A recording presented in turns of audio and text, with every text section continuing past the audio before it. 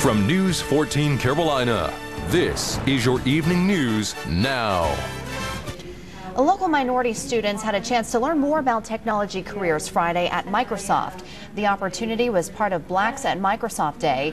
Friday marked the 20th anniversary of the event. Microsoft executives say there has been a drop in the number of students who pursue engineering and computer science degrees, but the drop has been particularly steep among minorities.